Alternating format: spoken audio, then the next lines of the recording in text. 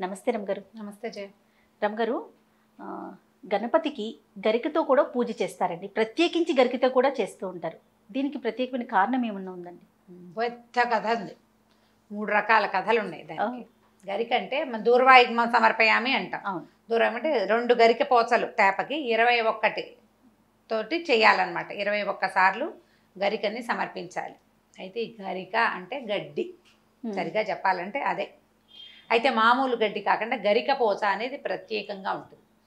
గరిక ఆరోగ్య హేతువు. ఆ గరిక మీద గడ్డిలో గనక నడిస్తే ఆరోగ్యం చేకూరుతుంది. తర్వాత గరిక వల్ల కొన్ని రకాల అనారోగ్యాలు తగ్గుతాయి తగ్గుతాయి. ఏంటి? ఇండైజేషన్ తగ్గుతుంది. గరిక చాలా ఉపయోగపడేది ఆయుర్వేద రీత్యా కూడా చాలా మంచిది. మనం గడ్డి పచ్చడి కథ చెప్పుకుంటూ ఉంటామా? ఆ. గడ్డి ఈ గరిక గడ్డే అని అనమాట. ఆ పచ్చడి చేసిన గడ్డి గరిక గడ్డే. అయితే దీనికి పూర్వగాథలుగా చాలా రకాల కథలు చెప్పబడతాయి. శివపార్వతులట ఒకసారి చదరంగం ఆడుకుంటున్నారు. చదరంగం ఆడుకుంటుంటే మన ఇద్దరం ఆడేటప్పుడు మధ్యలో ఒకళ్ళు పందెం పందానికి ఒకళ్ళు సాక్ష్యం ఉండద్దు. శివపార్వతులు ఇద్దరు పందెం వేసుకుంటున్నారు. ఈ పందాలకి ఏమిటి? నేను ఓడితే నేను నేను ఇది ఇస్తాను నువ్వు ఓడితే నాకు అది ఇవ్వాలి ఇట్లా మాట్లాడుకున్నారు. ఈవిడ ఏం చేసిందిట? ఒక అంటే ఒక ఉద్యానవనంలో కూర్చున్నారు. ఎక్కడుంది ఇది? హిమాలయాల మీద ఉన్న కైలాసం కొండలో. ఓకే. కైలాసపు కొండ మీద గడ్డి పోచలుంటే కాస్త గడ్డి పెరికి ఇట్లా ఇట్లా ఇట్లా గడ్డితో ఒక బొమ్మ చేసిందిట ఆవిడ. దానికి ఒక ముఖము కాళ్ళు చేతులు వచ్చేలాగా చేసి ఆ గరిక బొమ్మకి ప్రాణం పోసి పక్కన పెట్టింది. ఈ గరిక బొమ్మ సాక్ష్యం చెప్తుందని. ఓకే. చెప్పేసరికల్లా ఏమైంది? శివుడు ఓడాడు. కానీ పరమేశ్వరుడికి వ్యతిరేకంగా చెప్పడం గరిక గడ్డికి ఇష్టం లేదు. శివుడాజ్ఞలు ఎత్తే చీమైనా కుట్టదు కదా అమ్మవారికి చెప్పినా ఆవిడ క్షమిస్తుంది. అయ్యవారికి ఎదురు ఆడకూడదు అని భావించి దొంగ సాక్ష్యం చెప్పిందట మోసం చేసింది మోసం చేసింది గడ్డి మోసం చేసేసరికల్లా పరమేశ్వరికి అమ్మవారి కోపం వచ్చింది అవురా నేను కదా నిన్ను తయారు చేసి ఇక్కడ ప్రాణం పెట్టింది. పోసింది?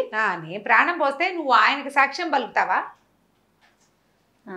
పో నువ్వు ఇక్కడి నుంచి ఇక నిన్ను ఎవ్వరు ముట్టుకోరు. ముట్టుకున్న వాళ్ళందరికీ చేతులు కోసుకుంటాయి నిన్ను ముట్టుకున్న వాళ్ళకి. నేను ముట్టుకున్నా కూడా నీకు బుద్ధి రాలేదు చూడు. అనేసరికల్లా గడ్డి బతిమలాడింది ఆవిడ్ని. కాదు కాదు నన్ను నన్ను రక్షించు. నేను నీ నీ వైపు తప్పు సాక్ష్యం చెప్పినా నువ్వు తల్లివి క్షమిస్తావు. ఆయనకేమో ఒక కంటి మంట ఉంది. నేను గడ్డిని ఆయన మంట తెరిచాడంటే నేను తగలబడిపోతా. అందుకని ఆయనకు అనుకూలంగా చెప్పాను నన్ను క్షమించమంటే. అయితే ఆవిడ ఏం చెప్పిందట? రేపు కృష్ణ చతుర్థి నాడు గణపతికి పూజ చేస్తారు. ఆ పూజలో పాల్గొను నువ్వు వెళ్ళి. అప్పుడు నీకు శాప విమోచనం అవుతుంది. లేకపోతే నిన్నెవరు ముట్టుకుంటే వాళ్ళకి వేళ్ళు కోసుకుంటాయి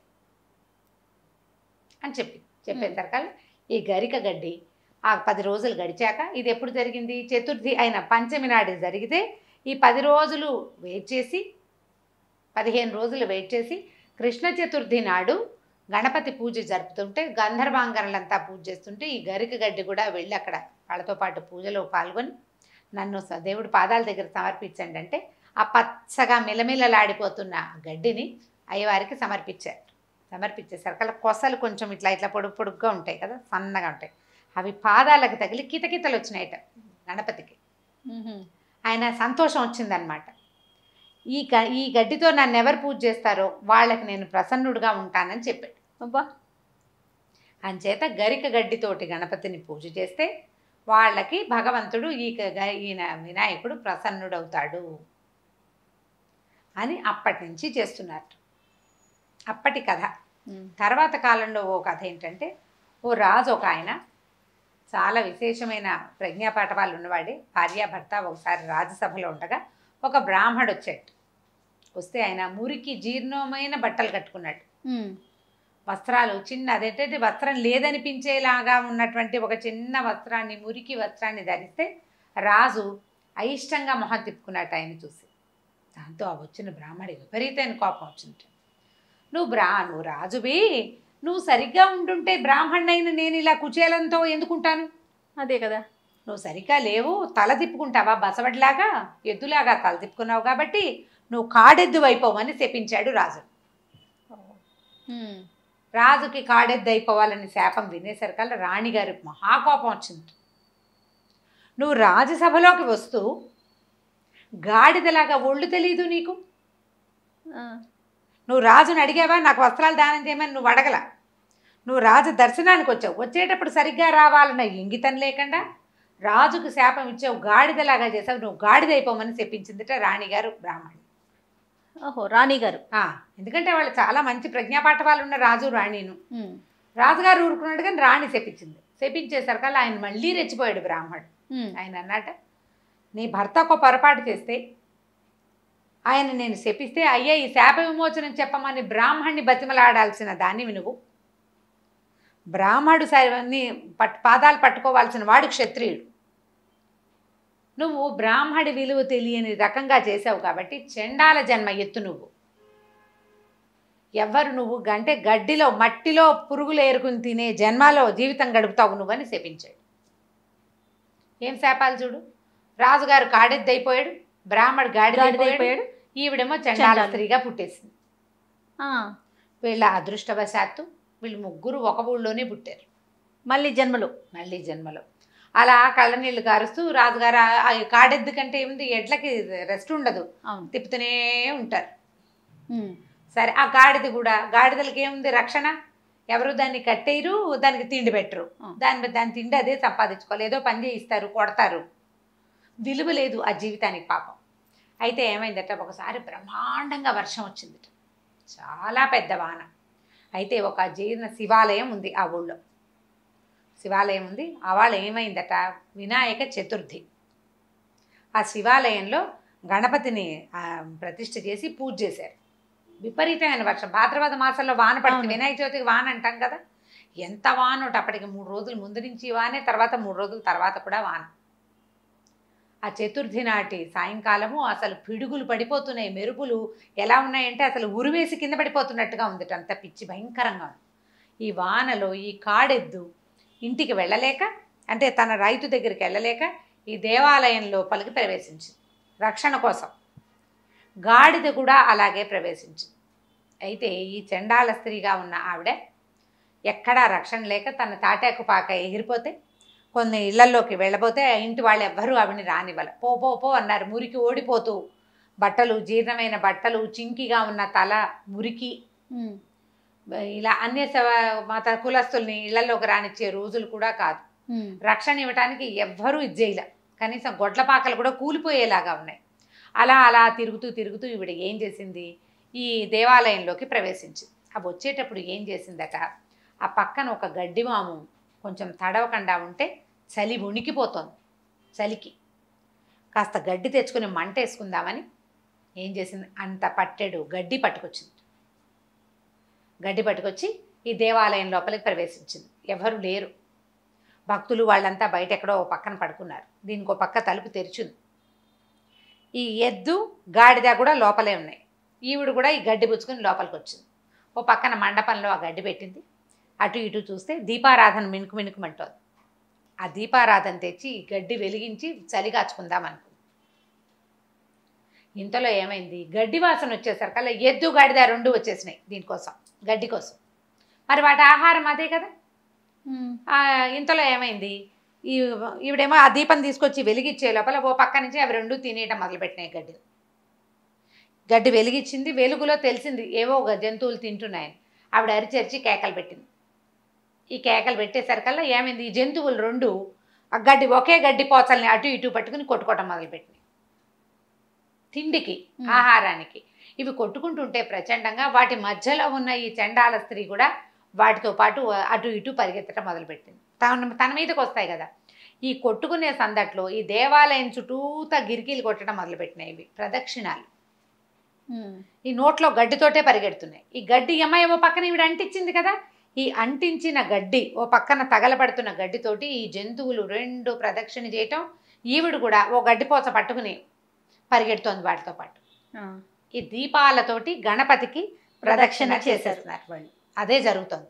ఇంతలో ఈ రభసగా గోల గోలగా వినపడుతుండేసరికల్లా ఈ భక్తులు కొంతమంది పరిగెత్తుకొచ్చారు. దేవాలయంలో ఏదో జరిగింది. ఇవి పరిగెడుతుంటే ఏమైందిట? ఈ దీపాల వెలుగు వాటితో పాటు కొంత గడ్డి వీటి నోట్లోంచి ఆవిడ చేతిలోంచి ఎగిరి ఆ ఆవాహన చేసి నిలబెట్టిన గణపతి మీద పడుతున్నాయి. ఆ గడ్డి పోచలు పడుతుంటే అది అర్చన లాగా ఉంది. ఆయనకి ఏమి ఇష్టం? గడ్డి పోచతోటి అర్చన ఇష్టం. ఆయనకి తృణాంకురాలు ఇష్టం చిన్న పచ్చిగడ్డి ఇష్టం. అయినా కూడా ఇది కూడా అదే జాతికి చెందింది. ఆ తృణమే పడుతోంది. పడుతుంటే ఆయనకి మంచి ప్రసన్నుడయ్యాడు గణపతి. ఈ వీళ్ళంతా వచ్చిన భక్తులు ఏం చేశారు? ఆ ఎద్దుని గాడిదని తరిమేశారు తోలేశారు. ఈ అమ్మాయిని చూసి ఈవిడెవరో ఈ ముందుగా చండాల స్త్రీని ఉమ్. గట్టి గట్టిగా కేకలేశారు. బయటకు వచ్చేసింది. బయటకు వచ్చేసరికల్లా పెద్ద పిడుగు పడింది పడేసరికల్లా ఈ మూడు జీవాలు ఒకేసారి మరణించినాయి. ఈ మరణించేసరికి ఒక దివ్య విమానం వచ్చేసింది అక్కడికి. ఈ భక్తులంతా చూస్తున్నారు. ఒక చండాల స్త్రీ ఒక. బుర్రలేని గొడ్లు గొడ్డు ఒకటి జంతువు ఒకటి. గాడిద. ఎద్దు ఏముంది? ఇలా తిప్పితే తిరుగుతుంది. తెలివితేటలతోటి ప్రవర్తించదు పని చేయించుకునేదే. గాడిద కూడా అంతే. వాటికి స్వయంగా పెద్ద తెలివితేటలు ఉండి అవునవును. అలా ఏం ఉండదు. అట్లా తింటూ తోలితే తోలబడతాయి. అంతే. వాటికి ఏం తెలియదు వీటి కోసం దివ్య విమానం రావటం ఏంటంటే ఈ మూడు శరీరాల నుంచి ముగ్గురు దైవ రూపాలు బయటకు వచ్చినాయి. దివ్యమైన రూపాలు. ఒక బ్రా ఒక రాచకన్య రాచస్త్రీ ఒక రాజు ఒక బ్రాహ్మణుడు. ముగ్గురికి గణపతి ఆ దీని నుంచి ఆయన తాలూకు సైన్యాలు సైన్యాలు వచ్చి వాళ్ళని తీసుకెళ్ళిపోయారు. దూర్వ పూజ అంత తెలియక చేసినా అలాంటి ఫలితాన్ని ఇస్తుంది. ఇట్లా దౌర్భాగ్యమైన జన్మలు ఎత్తిన వాళ్ళు కూడా వాళ్ళు తెలియక అసంకల్పితంగా చేసినటువంటి ఆ దూర్వాలు వేయటం వల్ల వాళ్ళకి అలాంటి ఫలితం ఇచ్చింది. దూర్వా పూజ గనక చేస్తే దూర్వాయుగ్మ పూజ చేస్తే విపరీతమైన ఫలితం వస్తుంది. మన దగ్గర పెద్దగా తెలుగు రాష్ట్రాల్లో అంత విరివిగా చేయరు. కానీ తమిళనాట అసలు గణపతికి ఇంతంత గడ్డి చిన్న చిన్న మోపులు అమ్ముతారు చిట్టి చిట్టి కట్టలు కట్టి. గణపతి గుడి ఎదురుకుంటే పిల్లయ్యారు టెంపుల్స్ ఎన్నిటి దగ్గర కనపడతాయి. ఇది పట్టుకెళ్ళి లోపల ఇస్తూ ఉంటారు. చాలా ఫలితం ఇస్తుంది. మనం స్వయంగా మన చేతోటి పెరికి తెచ్చిన గరిక పోచని సమర్పిస్తే భగవంతుడు చాలా సంతృప్తి చెందుతాడని ఆయనకి ఎంతో సంతోషాన్ని కలిగిస్తుందని దానివల్ల మనకి ఇక విఘ్నాలు తొలుగుతాయని గణాధిపతి యొక్క అనుగ్రహం వల్ల మనకి భవిష్యత్తులో రాగలిగిన బాధలన్నీ కూడా గ్రహ బాధలు కూడా తొలుగుతాయి. తర్వాత అనారోగ్యం నశిస్తుందని ఈ గడ్డి పెరగటం వల్ల మనకి ఆ దాని మీద నుంచి వచ్చే గాలి చాలా మంచిదట. గరిక మీద నుంచి వచ్చే గాలి. అది పనిచేస్తుంది. చాలా మంచిది. ఈ ఈ కథని బాగా విరివిగా చెప్పుకుంటారు. చాలా ఉంది కథ. ఇప్పుడు నిత్యము చేసే గణపతి పూజలో గరికని సమర్పించినా లేకపోయినా కూడా సవితులలో వినాయక చవితి నాడు సంకటహార చతుర్థి నాడు తప్పకుండా కనుక గరికని సమర్పిస్తే చాలా ఫలితం లభిస్తుంది. పిల్లలు మందబుద్ధులుగా ఉన్న వాళ్ళు ఉంటే కనుక పిల్లలకి తెలివితేటలుగా లేరు ఏదో డల్గా ఉన్నారు. వాళ్ళతోటి ఈ గరిక పూజ కనుక చేయిస్తే వాళ్ళకి జ్ఞాన వృద్ధి జరుగుతుందని ఈ మన గణపతి దేవు- పురా గణేష పురాణం అని పుస్తకం ఒకటి. ఆ గణేష పురాణంలో చెప్పబడింది. విద్యార్థులకి చాలా విశేషమైన ఫలితాన్ని ఇస్తుందట అది. ఓహో. జ్ఞాన వృద్ధి కలుగుతుంది. వీళ్ళకి ఏదైనా ఆయుర్వృద్ధి ఆయుష్ కూడా పెరుగుతుంది. అనారోగ్యాలు అవి దగ్గరికి రాకుండా ఉంటాయి తప్పకుండా మనం దూర్వాయుగ్మ పూజ వినాయక చవితి నాడు చేస్తాం. జ్ఞాపకం పెట్టుకుని సంకటహార చతుర్థుల్లో కూడా ఈ దూర్వాయుగ్మ పూజ కనుక చేస్తే చాలా ఫలితాన్ని ఇస్తుంది. ఇది ఈ కథ దీనికి అటాచ్డ్గా చెప్పబడింది. తప్పకుండా అండి. పిల్లలందరికీ తెలిసిన వాళ్ళు సరే సరే తెలియని వారికి ఖచ్చితంగా తెలియచే చేయాల్సిన కథ కదండి. ఆ ఏముందులే గడ్డిపోచ అనేసి పక్కన పడేస్తూ ఉంటారు. గడ్డి పోచ కూడా పక్కన పడేయవలసింది కాదు. అవును. దాని ప్రత్యేకత దాని సృష్టిలో ఏ ఒకటి పక్కన పడేయాల్సింది. కాదు. సాధారణ గడ్డిపోచగా భావించద్దు. ఆ గడ్డిపోచకి మీ తాలూకు గ్రహాలని కంట్రోల్ చేయగలిగే అవకాశాన్ని. ఇచ్చాడు భగవంతుడు. అంతే రమ్మ గారు నమస్తే అండి. నమస్తే జయ.